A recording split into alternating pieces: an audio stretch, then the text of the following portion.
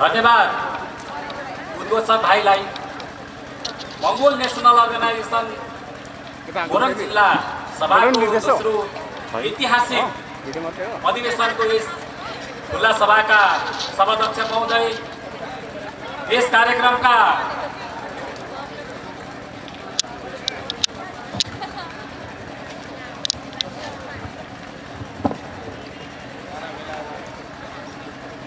प्रमुख अतिथिज्यू विशिष्ट अतिथिज्यू तथा लोकतन्त्र धर्मनिरपेक्ष र प्रान्तीय सरकारका पक्षधर सम्पूर्ण उपस्थित लेडिज एन्ड जेन्टलम्यान हिजो हामीहरू अर्थात् यो देशका असी प्रतिशत हिन्दू मूलवासी मङ्गोलहरू आफ्नो हक अधिकार खोज्नको निम्ति यहाँका शासक वर्गसँग यसरी खुलेर बोल्ने लेख्ने समय प्रशस्त थिएन।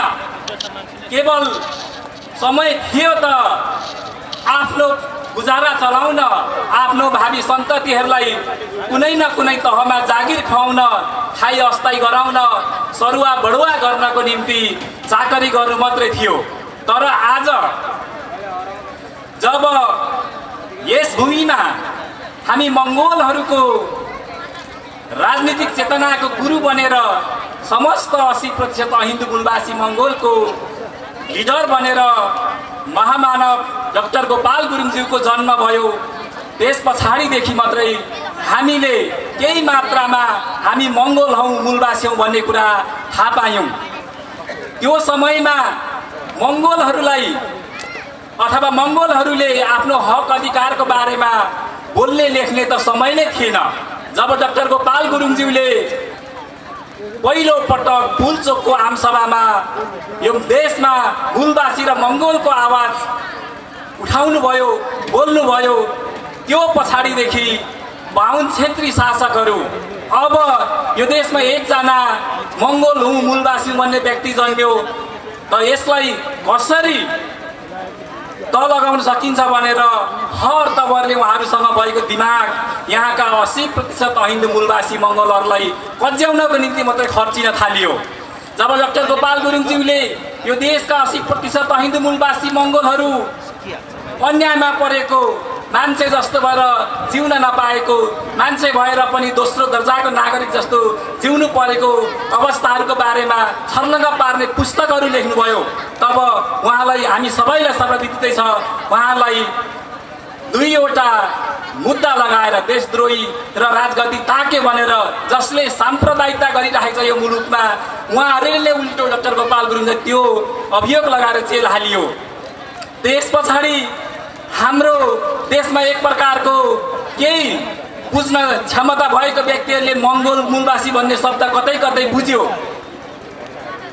खोज्नको निम्ति तपाईँले साथ दिन्छु भन्ने व्यक्तिहरू पनि जन्मे तर त्यो खोलाको गीत जस्तो मात्रै भयो। उहाँहरूलाई एकपछि अर्को गर्दै विभिन्न प्रलोभनमा फसाउँदै मुख बन्द गरिने काम गरियो। हिजोको दिनमा मङ्गोल नेसनल अर्गनाइजेसन कुनै समयमा कुनै पनि हलचल गतिविधि गर्नबाट वञ्चित थियो। त्यो समयमा बाहुन छेत्रीहरूले के चाहन्थ्यो भने डाक्टर गोपाल गुरुङज्यूको दर्शन अन्तर्राष्ट्रिय स्तरमै उहाँको छविलाई जुन मङ्गल राष्ट्रवादको पवित्र दर्शन छ सच्च छवि छ त्यसलाई धमिल्याउनको निम्ति अन्तर्राष्ट्रिय स्तरमै उहाँको बेजोत गर्न चाहनुहुन्थ्यो। जबकि पाँच तलाको घर सफा गर्नु छ भने फर्स्ट फ्लोर सफा गरेर दोस्रो तेस्रो सफा गर्दाखेरि त्यो घर कहिल्यै पनि सफा हुँदैन। किनकि पाँच तलाको घर सफा गर्नु छ भने पाँचौँ तलादेखि फाइभ फ्लोरदेखि नै सफा गर्दै गर्दै ल्याउनुपर्छ। अनि मात्रै त्यो घर सफा हुन्छ। यसर्थ हिजोको दिनमा डाक्टर गोपाल गुरुङज्यू एक्लो रूपमा अन्तर्राष्ट्रिय रूपमा उहाँलाई बेजत गराउनको निम्ति जब बाहुन छेत्रीहरू लाग्यो त्यो क्लियर गर्नको निम्ति उहाँले सारा कुरा त्यहाँ खर्चिनु पर्यो। र जब बाहुन छेत्रीहरूले बाध्य भएर मङ्गोल नेसनल अर्गनाइजेसनलाई दर्ता दियो। त्यस पछाडिबाट अब यही देशभित्र रहेको उहाँहरूकै अथवा अनुहार मकुण्ड हाम्रै बाहुन छेत्रीले चाहेको बेला खेल्ने भकुण्ड बनेका हाम्रै साथीहरूलाई प्रयोग गरेर विभिन्न कालमा मङ्गोलहरूलाई फसाउने षड्यन्त्र रच्दै आयो। त्यो तपाईँ हामीलाई थाहै छ श्रीनिवास काण्ड झन्डा काण्ड विभिन्न गाई गोरु काण्ड हामीले देख्दै भोग्दै आएको छौँ। यो तपाईँ हामीलाई एउटा विध्वंस तरिकाले अराजक तरिकाले अलोकतान्त्रिक तरिकाले हामीलाई फसाउनको निम्ति यो ल्याइएको नियोजित तरिकाले एउटा नियम हो। उहाँहरूले चाहिँ फर्मुला हो। त्यो फर्मुला हामीले लगाइराख्नु भएको छ। यसले गर्दाखेरि हामीले त्यो हिजोको दिन र आजको दिनमा आएर हाम्रो डक्टर गोपाल गुरुङज्यूले अथवा महामानव डाक्टर गोपाल गुरुङज्यूले जुन तरिकाले हामीलाई दर्शन दिनुभयो त्यो दर्शन एक प्रकारले ग्रास लेभलमा नपुगोस् भनेर हामीलाई बिच बिचमा विभिन्न षड्यन्त्र गर्ने काम अहिलेसम्म भइरहेको छ। एवं रितले हामीलाई यो देशमा फसाउने हामीलाई एकअर्कामा भिडाउने हिजोको दिनमा हामीलाई थाहा छ हामी दाजुभाइ आफ्नै काका बतिस मामा भान्जा ससुर ज्वाइँ एकअर्कामा हामी पहाडको ठाउँमा हामी मेरो जन्मस्थान ताप्लेजुङ भएकोले गर्दा म त्यो क्षेत्रमा भोगेर आएको। एकअर्काको घर काट्ने गाई गोरु फुकालेर बालीतिर लगाइदिने बर्खाको टाइममा कुलो भत्काइदिने एकअर्कालाई भिराएर लड्ने मार्ने काट्ने यस्तो कार्यहरू हामी गरिरहेको थियौँ तर सबै हामीलाई फसाउनको निम्ति थियो भन्ने हामीले बुझेनौँ। तर आजका एक्काइसौँ शताब्दीका युवाहरू युवतीहरू भाइ बहिनीहरू अब आउने कमिङ जेनेरेसनले सत्य कुरा बुझ्न थाले बोल्न थाले। यसर्थ बाहुन छेत्रीहरूले अब जुनसुकै सूत्र लगाएर पनि हाम्रो आवाजलाई यो अगाडि बढेको मङ्गोल राष्ट्रवादको दर्शनलाई यो उर्लदो अभियानलाई कसै पनि गरेर रोक्न नसक्ने देखेपछि फेरि पनि हामीलाई मङ्गोल नेसनल अर्गनाइजेसनलाई यस देशका शासकहरूले बेजतै बेजत गर्न खोजिरहेको छ। हिजो अठार वर्षसम्म दर्ता दिएन र बेजत गर्यो। चुनावमा जाँदाखेरि दर्तै नभएको पार्टी बन्यो। भने आज आएर फेरि विभेदकारी ऐन लगाएर फेस होल्डकै विभेदकारी ऐन लगाएर फेस होल्ड काट्नेले मात्रै आफूले इच्छाएको अथवा निर्वाचन प्रयोजनको निम्ति निर्वाचन आयोगले दिएको चुनाव चिनाव प्रयोग गर्न पाउने भन्ने नियम लगाएर हामीलाई स्वतन्त्र उम्मेदवार जस्तो बनाइराखेको छ। तर हामीले यो कुरामा स्पष्ट हुनुपर्छ कि बाहुन छेत्रीहरूले अबको समयमा हामीलाई जुनसुकै अङ्कुश लगाए पनि हामीले फलामे जन्जिर अथवा फार्मको बलियो ढोकाहरू पनि हामीले फोरेर आइसकेका छौँ। त्यो फोर्ने काम महामानव डाक्टर गोपाल गुरुङज्यूले एक्लै गर्नुभएको छ भने अब हामीलाई लाउने ती अङ्कुशहरू त्यो ढोकाहरू भनेको त मकैको कुखाजको त्यो त बक्सिङले दिएर भत्काएर पनि हामी बाहुन छेत्रीसँग मुकाबेला गर्न तयार हुनेछौँ। त्यसमा हामी स्पष्ट हुनुपर्छ। र उपस्थित सम्पूर्ण मङ्गोल प्रेमी दाजु एवं दिदी बहिनीहरू यसो भनिरहँदाखेरि हामीले बाहुन छेत्रीसँग बदलाको भावना पनि खोजिरहेको छैनौँ। यदि बदलाको भावना यदि चाहन्थ्यौँ भने हिजोको दिनमा पश्चिमको चेपे नदीको पानी गुरुङ मगरले खाँदैन। किनकि हाम्रो पुर्खाहरूलाई त्यो नदीमा काटेर रगतको खोला बगाइएको थियो। नेपालमा जति पनि बाहुन छेत्रीहरू छन् नाम चलेको नेताहरू छन् तिनीहरू सबै बाहुन छेत्रीहरूले पढ्ने नाममा टेरा बसेर काठमाडौँको नेवार समुदायको छोरी चाहिँ बिहा गरेका छन्। तर त्यहीँको नेवारहरूको बाहुन छेत्रीका जुन अग्रज लडाकु बनेर आएका जुन साम्राज्यवादीका नायक पृथ्वीनारायण शाहको सेनाहरूले त्यहीँको नेवार समुदायको हामीले चाहिँ धार्मिकको धार्मिक नाक कान काटेको हामीले सुनेको छौँ। अरुणको नदीमा हाम्रा पूर्व क्षेत्रका मङ्गोल समुदायका राई लिम्बू समुदायहरूलाई बोरामा हालेर काटेर हाम्रा हजारौँ हाम्रो अभिभावकहरूलाई हामीले गुमाएको छौँ। यदि बदलाको भावना लिन्थ्यौँ भने हामीहरू कोसीमा भेल आएको बेला सप्त गण्डकीमा बाढी आएको बेला सोर्स सामन्ती छेत्री बाहुनहरूलाई छानी छानी काटेर बगाइदिन सक्थ्यौँ। त्यो काठमाडौँको नेवारहरूको काटिएको धार्मिकको धार्मिक कान नाकको बदलामा बोरा बोरा ती सुगनाकहरू काटिदिन सक्थ्यौँ तर हामीले केवल बदला लिन खोजिरहेको छैनौँ। हामीले उहाँहरूलाई अस्सी प्रतिशत र बिस प्रतिशतको राजनीतिक सिकाइरहेको छौँ। आज उहाँहरू बिस प्रतिशतले हामी अस्सी प्रतिशतलाई दुई प्रतिशतको अधिकार दिएको छ। हामीलाई होमलेस लेङ्गलेस जबलेस बनाएको छ। तर भोलि मङ्गोल नेसनल अर्गनाइजेसनले उहाँहरूको बिस प्रतिशतको अधिकार हामीले खोज्छौँ भनेको छैन। बुद्ध जन्मिएको राष्ट्रमा हामीले बुद्ध राष्ट्र हुनुपर्छ भनेको छैनौँ। धर्म निरपेक्ष हुनुपर्छ भनिरहेको छौँ लडिरहेको छौँ। यसर्थ यदि मङ्गोल नेसनल अर्गनाइजेसन कार्यकर्ताहरूले बाहुन छेत्रीहरूलाई कराउँछ यिनीहरू अराजक गतिविधिको छन्। मैले सुन्ने गरेको छु कुनै कार्यक्रमदेखि फर्किँदा। आज त्यहाँ मङ्गोलको कार्यक्रम थियो। अकबरे खोर्सानी जस्तो जिरे खोर्सानी जस्तो पिरो पिरो कुरा गरेर गयो। तर यिनीहरूले केही पनि नाच्दैन यिनीहरूकै हरौटे भरौटे हाम्रो दाहिने हातहरू उभिएका छन् भनेको सुनेको छु। तर यदि हामीलाई हामीले हाम्रो समुदायहरूलाई राजनीतिक चेतनशील बनाउनको निम्ति हामीले गाउँ बस्तीमा हाम्रो अभियान लिएर जाँदाखेरि हामीले अवरोध गर्ने काम नगरियोस्। यदि गरेको खण्डमा यसको परिणाम अत्यन्तै नराम्रो हुनेछ हामी सौहार्दपूर्ण वातावरणले हाम्रो मान्छेहरूले राजनीतिक चेतनशील बनाइरहेको छौँ।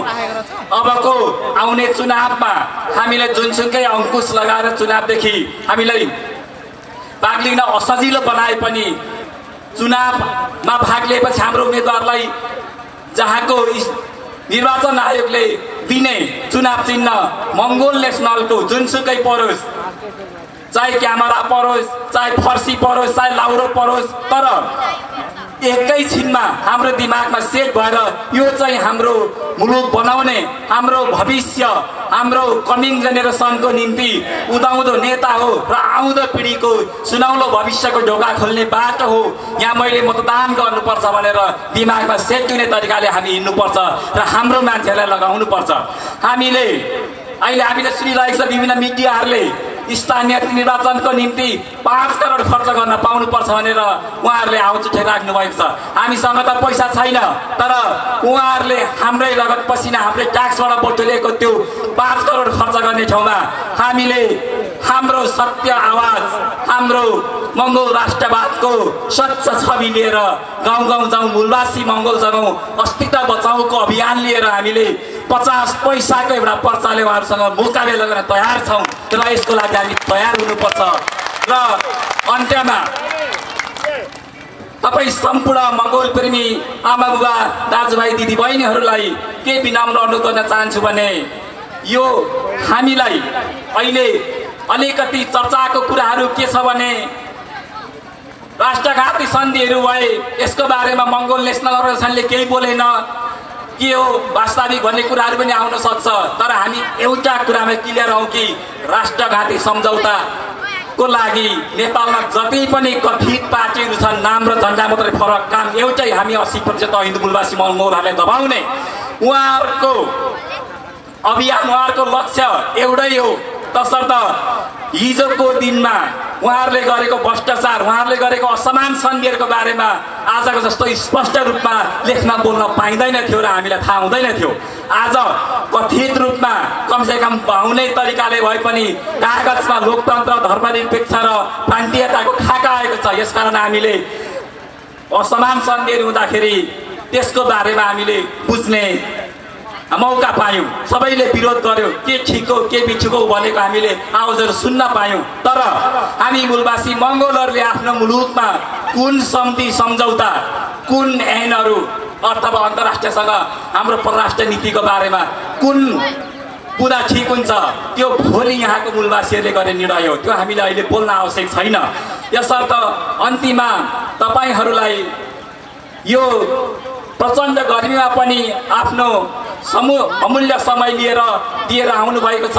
तपाईँहरूलाई व्यक्तिगत तर्फबाट मुरी धन्यवाद दिन चाहन्छु। तपाईँलाई म एउटा मङ्गोल विजन राष्ट्र साप्ताहिक पत्रिकाको प्रबन्धक भएको हैसियतले के पनि भन्न चाहन्छु भने हामीसँग भएको मिडियाहरू मिडिया पार्टनरहरू थुप्रै छन्। मङ्गोल अनलाइन टिभी छ त्यसरी नै मङ्गोल मिडिया हब छ हाम्रो टिभी छ हिडन फ्याक्ट छ एफआर अनलाइन छ गोर्खाज अनलाइन छ। इत्यादि गरेर धेरैवटा हाम्रो मिडिया पार्टनरहरू छ। उहाँहरूको च्यानल तपाईँहरूले सब्सक्राइब गर्नुभएको छैन भने सब्सक्राइब गरिदिनुहोस् कमेन्ट गरिदिनुहोस् किनकि बाहुनवादी मिडियाहरूले हाम्रो कुरा लेख्दैन। हिजोसम्म लेखेको छैन भने आज लेख्छु भनेर आयो भने पनि बाहिर बाहिर सुनेर लेख्छ भने लेख्छ तर हामीलाई उहाँ उहाँहरूलाई हामी बोलाएर दिँदैनौँ भन्दैनौँ किनभने हिजोको दिनमा हामीले त्यत्रो यो राष्ट्रको समस्याको बारेमा बोल्दा यो राष्ट्र बनाउने यो राष्ट्रको उन्नतिको बारेमा बोल्दा केही पनि लेखिदिनु भएन एक शब्द लेखिदिनु भएन। तर कुनै पिपलको फेदमा एउटा गोमनको सर्प भेट्यो अथवा कुनै एउटा गाईले अलिकति टाउको भाँगेको बच्चा जन्मायो भने त्यसलाई ठाउँ दिने मिडियाहरूले हाम्रो सत्य आउँदैन लेख्न सकेन। त्यसैको परिणाम आज हामी उहाँहरूलाई कुनै पनि कार्यक्रममा बोलाउँदैनौँ। यदि उहाँहरूले बाहिर बाहिर आएर लेख्नुहुन्छ बोल्नुहुन्छ उहाँहरूको कुरा हो तर हामी उहाँहरूलाई बोलाएर इन्भाइट गरेर सत्कार गरेर लेख्दैनौँ। तसर्थ अन्तिममा पुनश्च उपस्थित सम्पूर्ण मङ्गोल प्रेमी दाजुभाइ एवं दिदी बहिनीहरूलाई न्यानो जय मङ्गलको अभिवादन र जुन मोरङ जिल्ला सभाको दोस्रो ऐतिहासिक बन्द सत्रबाट चुनिनुभएका सम्पूर्ण पदाधिकारीज्यूहरूलाई सफल कार्यकालको शुभकामना दिँदै अबको आउँदो चुनावमा हामीले चुनाव चिन्ह पाए पनि नपाए पनि एक हप्ता अगाडि पाए पनि एक दिन अगाडि पाए पनि यो देश बनाउने हाम्रो यो माटोको छोरा अथवा यो देशको लिडर यो देशले चाहेको लिडर तपाईँले चिन्न सक् सक्नुपर्छ र जति पनि लिडरसँग गरेर हिँड्नु भएको छ तपाईँले बुझाउनु सक्नुपर्छ। एक हप्ता एक दिन त के? एक घन्टामै हामीलाई प्रदान गरिएको चुनाव चिन्हमा हामी छाप लगाएर हाम्रो नेताहरूलाई विजय गराउनेछौँ र आजको यस प्राङ्गणमा जति पनि उपस्थित हुनुभएका छ स्थानीय विभिन्न तह र तब्काबाट विभिन्न सभाबाट आउनुभएको छ नेताजीहरू तपाईँहरूलाई अर्कोचोटि अथवा अबको अर्को चुनाव पछाडि सांसद भवनको सिटमा देख्न पाऊँ यही शुभकामना यही शुभेच्छा प्रकट गर्दै बिदा हुन चाहन्छु। हस्त जय मङ्गल।